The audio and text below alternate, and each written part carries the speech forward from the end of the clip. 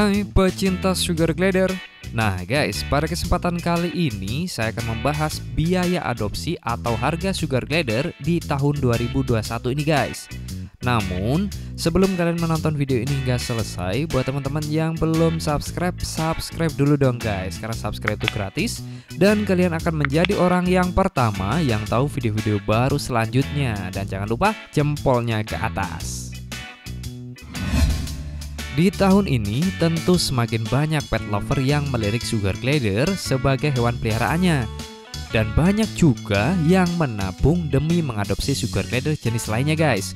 Berikut biaya yang harus kalian keluarkan untuk memelihara sugar glider di tahun 2021 ini guys. Yang pertama yaitu sugar glider classic grey.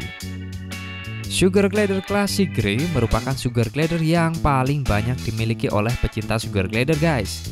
Jenis ini sangat mudah didapat di komunitas, pet shop maupun pasar hewan. Di tahun ini, biaya untuk mengadopsi sugar glider classic grey berkisar antara 350 sampai dengan 450 ribu rupiah dan ini dapat dikatakan sangat terjangkau guys. Yang kedua, Sugar Glider White Face. Sekilas, Sugar Glider White Face nampak sama dengan Sugar Glider Classic Grey. Namun, perbedaan yang sangat mencolok di mana Sugar Glider White Face memiliki wajah yang lebih cerah jika dibandingkan Sugar Glider Classic Grey. Perbedaan lainnya adalah tidak adanya earbar pada Sugar Glider Whiteface seperti jambang gitu guys. Nah, saat ini biaya untuk mengadopsi Sugar Glider Whiteface berkisar antara Rp550.000 hingga Rp750.000 guys. Gimana? Masih terjangkau kan? Yang ketiga, Sugar Glider Mosaic Sugar glider mosaic adalah sugar glider yang memiliki warna yang unik guys. Hal ini dapat kita lihat pada warna bulunya yang memiliki warna lebih dari satu.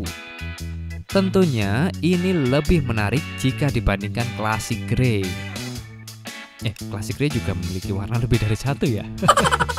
Nah, namun untuk saat ini biaya untuk mengadopsi sugar glider mosaic berkisar antara 1 juta sampai dengan 2 juta 500 ribu rupiah guys. Ya lumayan mahal jika dibandingkan classic grey dan white face. Gimana? Masih terjangkau kan? Yang keempat, sugar glider leukistic. Sugar glider leukistik merupakan sugar glider yang memiliki bulu yang berwarna putih bersih yang sekilas nampak seperti albino. Namun, bedanya terletak pada matanya yang berwarna hitam guys. Jenis ini sudah mulai banyak dikembangbiakan oleh breeder dan komunitas. Di tahun ini, biaya untuk mengadopsi sugar glider leukistik berkisar antara satu setengah juta hingga 2 juta rupiah guys. Mudah-mudahan tabungan kalian cukup ya guys untuk mengadopsi si putih ini. Yang kelima, Sugar Glider Platinum. Sugar Glider Platinum merupakan sugar glider yang memiliki alel yang sama dengan leukistik. Namun, bulunya terlihat lebih gelap jika dibandingkan leukistik. Seperti namanya, Sugar Glider Platinum memiliki warna abu-abu yang cenderung keperak-perakan yang membuat biaya adopsinya lebih mahal jika dibandingkan dengan leukistik. Biaya untuk mengadopsi Sugar Glider Platinum ini berkisar antara 1,8 hingga 2,5 juta rupiah guys. Gimana? Masih terjangkau? Yang keenam, Sugar Glider White Face Platinum. Hampir sama dengan Sugar Glider Platinum, Sugar Glider White Face Platinum bedanya tidak memiliki earbar di bagian samping kepalanya guys yang membuat Sugar Glider ini memiliki embel-embel nama WF atau White Face. Jika Sugar Glider Platinum umumnya memiliki harga 1,8 hingga 2,5 juta rupiah, Sugar Glider White Face Platinum lebih mahal sedikit guys, yaitu berkisar antara 2 sampai 3 juta rupiah. Hmm. Masih terjangkau kan? Yang ketujuh, Sugar Glider Crimino. Sesuai dengan namanya, Sugar Glider Crimino memiliki ciri khas bulu yang berwarna krim dan matanya merah tua guys. Ini membuat Sugar Glider Crimino menjadi salah satu Sugar Glider dengan biaya adopsi yang lumayan mahal guys. Biaya untuk menjadikannya hewan peliharaan berkisar antara 4 sampai 5 juta rupiah guys. Gimana? Tertarik atau sudah mulai berat dompetnya? Yang kedelapan, Sugar Glider Whiteface Crimino. Sekilas memang terlihat sama, namun berbeda dengan Crimino pada umumnya. Sugar Glider WF Crimino atau White Face Crimino menjadi varian dari Crimino yang sedikit lebih mahal dari Crimino pada umumnya. Pasalnya, jika Sugar Glider Crimino pada umumnya memiliki earbar, White Face Crimino tidak memiliki earbar guys. Jadi dia punya embel-embel WF gitu atau white face.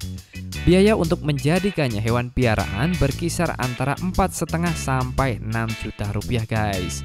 Wah, sudah mulai berat dompet ini sepertinya. Yang kesembilan, Sugar Glider Albino. Sugar glider dengan kelainan gen ini menjadi satu-satunya sugar glider yang tidak memiliki pigmen warna pada bulu dan sekujur tubuhnya guys.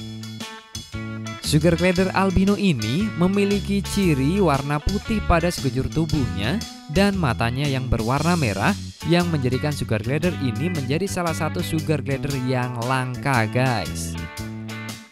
Di tahun ini, jenis albino dibanderol dengan harga 5 juta ke atas guys Wih, menarik sekali Tapi berat sepertinya di dompet ini Gimana?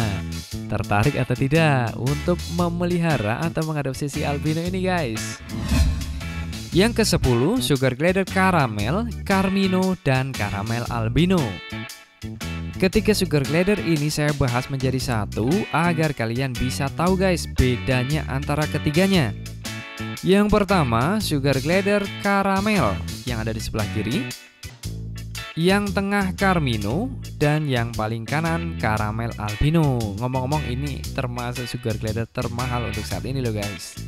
Pasti kalian juga berpikir nih, caramel kok seperti grey ya? Nah, perlu kalian tahu guys, karamel itu bukanlah warna, melainkan subspesies sugar glider yang asli berasal dari negara kita, yaitu di Merauke, Papua. Mengutip dari beberapa breeder sugar glider, ini termasuk langka guys, dengan biaya adopsi di atas 15 juta rupiah. Wah, murah banget. nah, gimana guys? Yang mana yang kalian inginkan di tahun ini yang belum tercapai tahun lalu? Mudah-mudahan di tahun ini tercapai untuk mengadopsi sugar glider idaman kalian ya guys ya. Jika di daerah kalian terdapat perbedaan dengan apa yang saya paparkan pada kesempatan kali ini, ini merupakan hal yang wajar guys.